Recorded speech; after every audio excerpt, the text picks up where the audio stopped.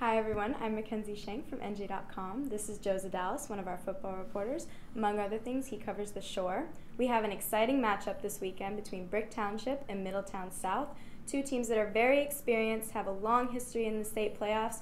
Joe, tell us a little bit about the tradition between these two teams. Brick Township and Middletown South are two of the teams that helped form the Shore Conference history in these state playoffs. Between them, they have 17 sectional titles. Brick was one of the teams that helped build the legend of the state sectionals.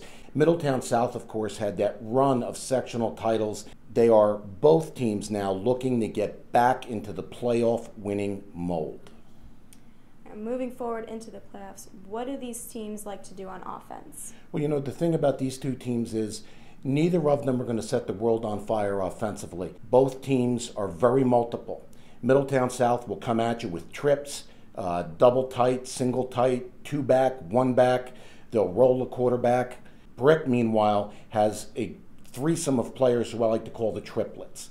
What those kids do, they alternate between quarterback, running back, and wide receiver. They can be at any of the three positions on any play, and they all have a similar skill set.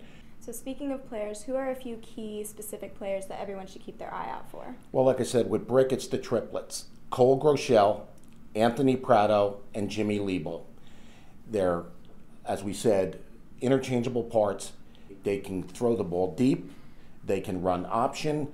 Uh, for Middletown South on the offense, the key is quarterback Trevor Bray. He's got this Tom Brady knack around the goal line with the quarterback sneak. He's got 10 touchdowns. He's got a good arm, not a great arm, but what he does best for Middletown South is manage the offense. He gets them lined up right, he gets them in and out of the huddle, he makes the play calls, and he reads that defense on the option and does it very well. Well, there you have it from NJ.com. We'll see you guys next time.